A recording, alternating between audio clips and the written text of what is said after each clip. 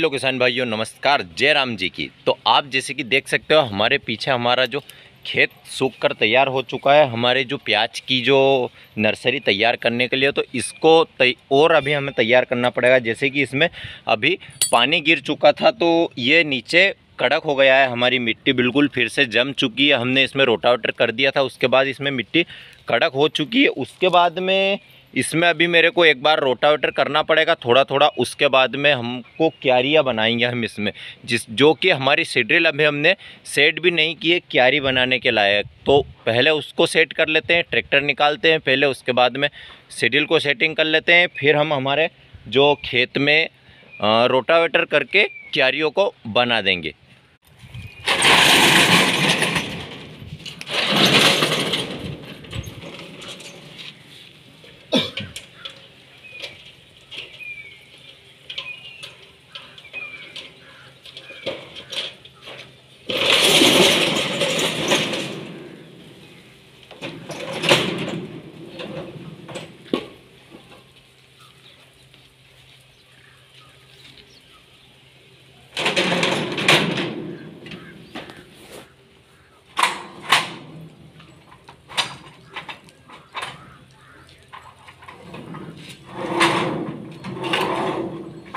जो हमारा ये वाला ट्रैक्टर है, छोटा वाला ट्रैक्टर है, इसमें हमारा जो स्प्रे पंप टंगा हुआ है, उसके बाद में हमारे जो बड़े वाले महिंद्रा युवो में रोटावेटर टंगा हुआ है। तो पहले अभी हम जैसे कि सीडल को सेटिंग करेंगे तो हमको उसको हाइड्रोलिक पर तोकना पड़ेगा।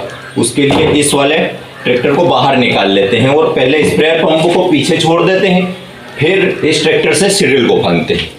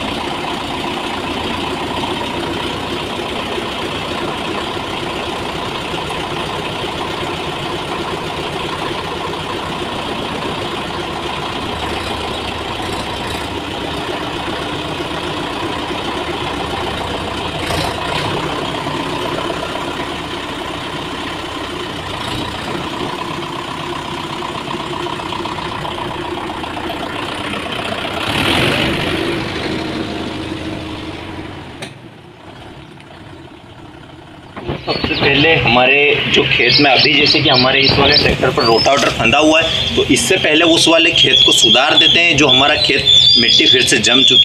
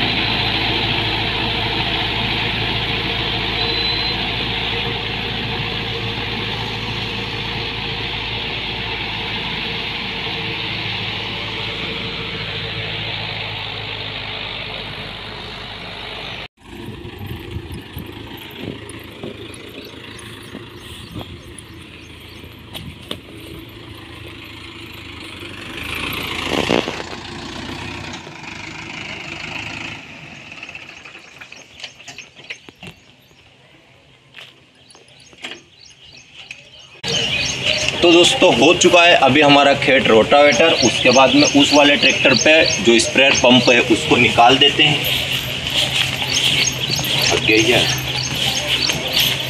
उस वाले ट्रैक्टर से स्प्रेयर पंप निकाल देते हैं, छोड़ देते हैं अंदर। पहले तो अंदर थोड़ी सी प्रॉब्लम हो चुकी है, जैसे कि हमने पहले रोटावेटर किया था तो अंदर पूरा मिट्टी मिट्टी करती तो इसको पहले बाहर निकालना पड़ेगा क्योंकि मिट्टी बहुत ज़्यादा हो चुकी है। इसमें क्या है? नीचे ये मिट्टी इकट्ठी करके लाता है और ये जैसे ही सूख गई हमारे रोटावेटर में तो नीचे गिर गए अभी हमें निकालने में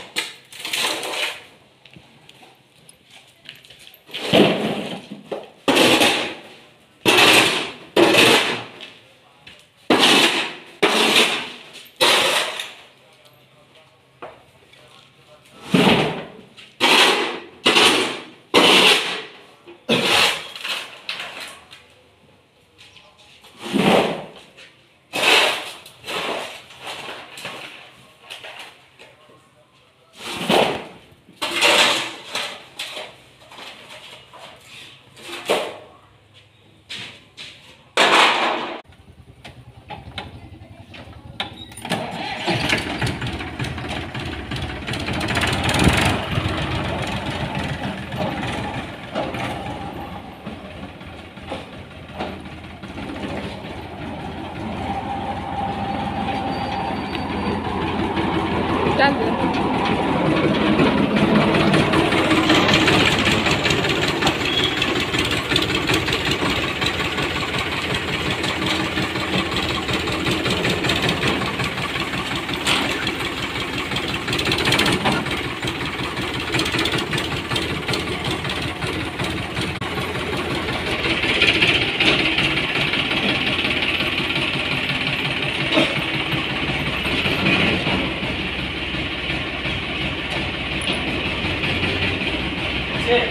बस बस बस बस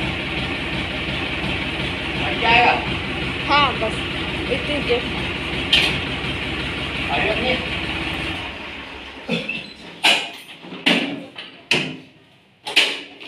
तो ये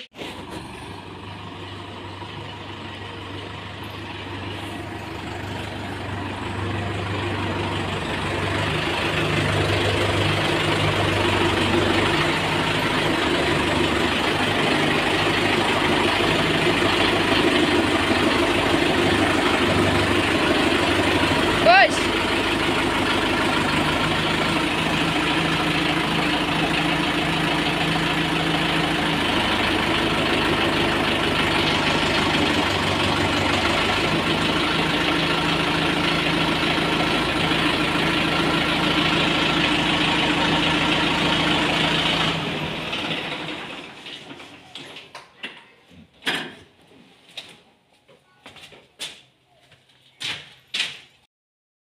तो दोस्तों अभी जैसे कि आपने देखा कि हमने ट्रैक्टर को अभी रोटावेटर किया, उसके बाद में हमारा जो रोटावेटर को छोड़ दिया, स्प्रे पंप को छोड़ दिया, उसके बाद में अभी जो थोड़ा सा पसीना आ गया था, गर्मी बहुत ज़्यादा है इसके लिए तो अभी मैं और हमारे कैमरामैन जी, दो ही पंखा में थोड़ी सी हवा ली रहा है, जिससे कि पसीनों सूखी जाए और ज़्यादा गर्मी नहीं होए।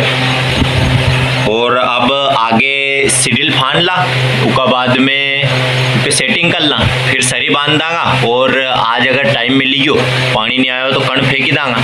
यो हुई सकते है।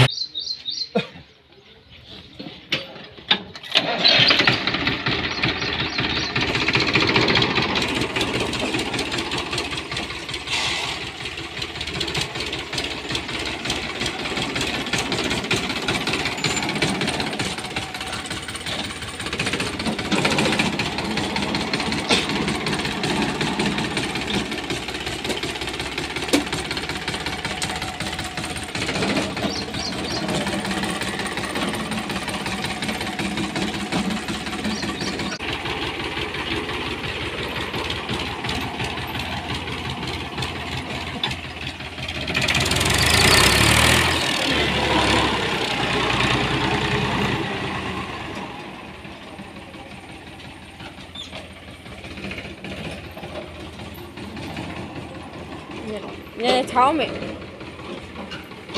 कि अभी हम हमारे सीड्रिल को वहाँ से लेकर के आ गए हैं जहाँ पर हमने पहले इसको छोड़ा हुआ था। अब इसके जो अ, हमें इसको गेहूँ की सीडिल बनाना है। तो गेहूँ की सीडिल बनाने के लिए जैसे कि हमारे जो ये चार दाते हैं ये तो जहाँ के जहीं रहेंगे लेकिन ये वाला वो वाला और उधर के दो इनको पीछे लाने पड़ेंगे क्योंकि हमारे पीछे की साइड में पाँच दाते रहेंगे और आगे की साइड में चार दाते रहेंगे। जिससे कि हमारा जो अ, जो क्यारियो बनाने वाला पटिया होता है वो बिल्कुल ऐसे तिरछे शेप में रहता है, जैसे कि आगे हम वीडियो में देखने वाले हैं।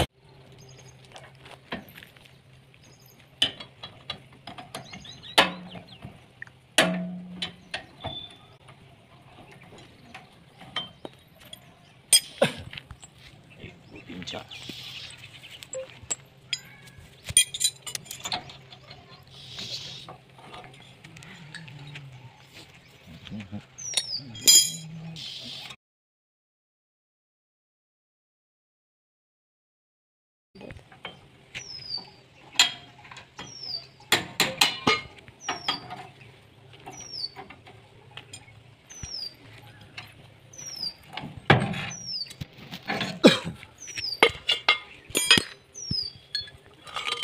Mm-hmm.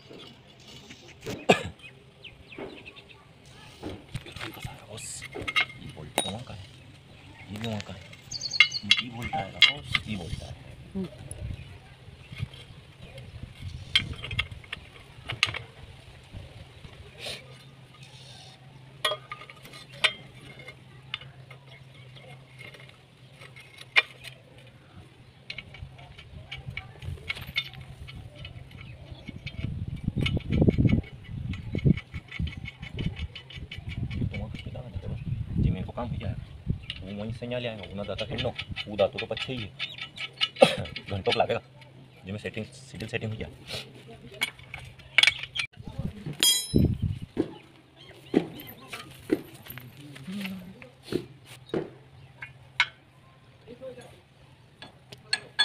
वहीं से बोल्ट पिराएगा ये? पत्ती रखी ना या पत्ती यहाँ रखी दी अरे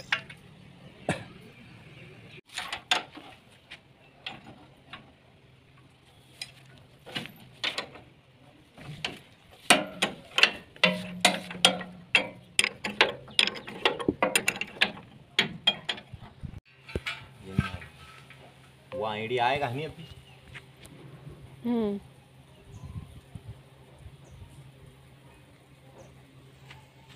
मैं गिर भीतरी मैं गिर फितरी ना टाइम डिलीट बाय बाय तो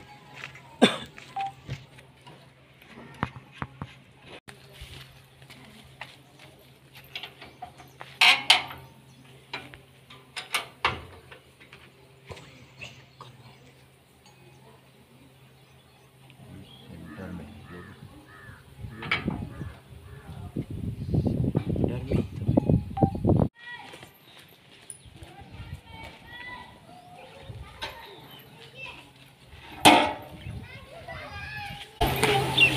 यो है पाटियो। यो बराबर सर्री बनी थे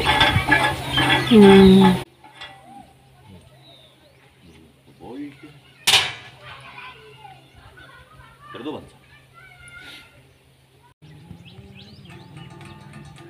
बोल्ट पड़ी क्यों होगा नहीं या फेंकी पे?